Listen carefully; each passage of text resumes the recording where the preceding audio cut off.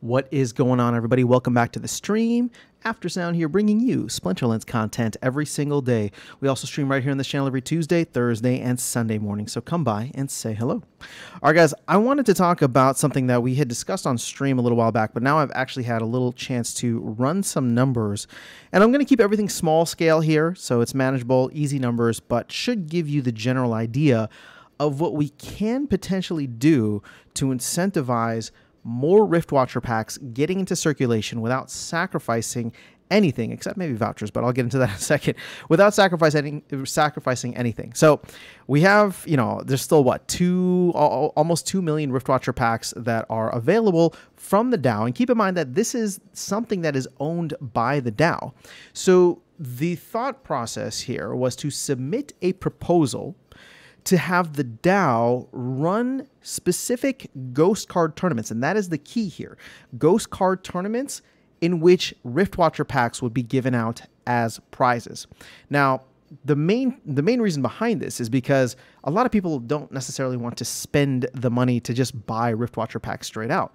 But if you give additional utility and, and some kind of entertainment, meaning that you have a tournament, well, then all of a sudden we can go in and buy, or sorry, not buy, but like we'll go in and play the tournament for a chance to win some of these packs, right? So I want to break down the numbers here because I think it's actually very attainable. So if we if we just do 100 packs and i want to keep it super super simple just 100 packs you can see here 100 packs is going to be roughly 26693 sps with sps being slightly under 28 uh slightly under 2 cents is what i meant to say so here are the numbers that i want to run let's say in the month of july we run four ghost card tournaments four tournaments over four weeks, right? We'll just do like a weekly Friday thing and you just do like 25 packs, right? Just 25 packs given out as rewards in these ghost card tournaments over the month of July. So let's go ahead and run some numbers now. And to keep it easy, right? It's 26,693. I'm just going to say for each tournament, we want to make 7,000 SPS, right? That should be the entry fee that goes all back to the DAO. So it's as if we're buying the packs from the DAO collectively as a community, but only some people will get it based on how they play in the game. And it's going to be based on skill level because it will be a ghost card tournament. So uh, let's say let's say we want to do just just overshoot it, right? 28,000 total SPS, which is, you know, a, bit, a little bit more than a thousand more than what we would require here. And you divide that by four, you'd want 7,000 SPS per tournament. So in order to get that, how many players and accounts would you need to actually join? I don't quite remember where the last SPS or where the last, uh, you know, like the Gladiator uh, open tournaments were or Gladiator uh, Ghost Card tournaments were. But I'm just going to say I don't know. I, I don't think that like 25 SPS is that out of line, right? So you divide this by like 25 SPS, and that means we would need 280 people on average playing over the four weeks. If we get more than that, then actually we lock up more SPS in the DAO and it becomes beneficial in that sense. If we increase the price, let's just say like 7,000 divided by 30 SPS, right? All of a sudden we're, we're down to 233 on average. Now, I don't know how many players are, are in the game. I don't know how many players are still actively playing and would participate in this. Although I do remember us having a decent amount of uh, a decent amount of activity and participation in these ghost card tournaments. So ultimately, I think you know hitting somewhere between like 250 ish, right, or around 250 ish uh, players, paying anywhere from like 25 to 30 SPS for a ghost card tournament would actually be pretty cool or pretty pretty attainable. I should say not pretty cool, although that would be pretty cool too.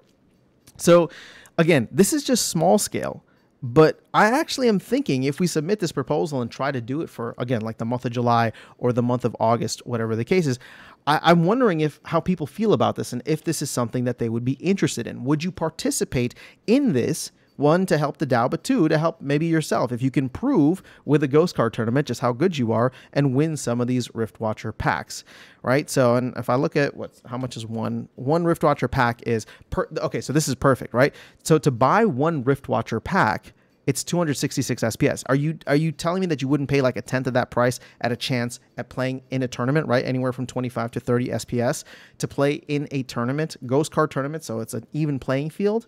I don't know. I, I, to me, it seems like a good idea. The only thing that, like I said, would be sacrifices. You know, you if you do 100 packs here, that's 110 vouchers you would essentially burn, or at least 100 vouchers. But hopefully we'll find you know 100 vouchers getting burned for for for a month isn't going to do anything when we're printing 40,000 a day. So I'm not as worried about it from that perspective, but I do want to find creative ways to get more Riftwatcher packs into circulation and more SPS out of circulation.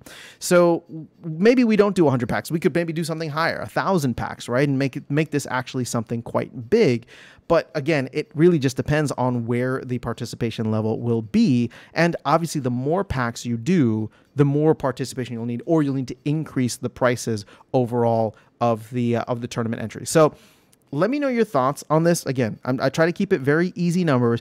I don't think that it would be a massive you know, time suck for the team because it really is just a matter of setting up four ghost card tournaments. And they've done it in the past. I don't know if Weirdbeard is still the one in charge of setting up those tournaments, but again, if we if we propose this, there's nothing that they would need to fundamentally shift or change from a development standpoint. It's just moving assets around, right? Taking the the Riftwatcher packs out of the DAO, putting them up as rewards, setting up the or setting up the tournaments, putting the Riftwatcher packs as rewards, and then whatever SPS is collected from these rewards then goes into the DAO. So I'll I'll keep it short and sweet there. Hopefully you understand where I'm coming from, but again, if the here, here's the thing, I, I actually think that I want to start using I want to start using this platform to potentially propose some cool ideas and not just my ideas. Again, I, am not trying to take credit for this. I feel like this is something that we as a community on one of the live streams came up with, and I'm just running some numbers with it now, trying to present it to you in a, a very easy to understand way. But if we can start to, if we do feel as though this could go somewhere, uh, I'm curious to know if people would be willing to to help fund some some cool proposals here. Just because I don't know, maybe maybe I'm just feeling a little, maybe I'm just feeling a little impatient. But I do think we can add value as a community to the ecosystem by finding fun, cool, unique, creative ways to lock up certain assets that need to be locked up like SPS and get more cards, right? More assets that need to be unlocked, something like, you know, Riftwatcher packs out into the ecosystem. So let me know your thoughts in the comments below. I will catch you all in the next video and see you around the game. Take care.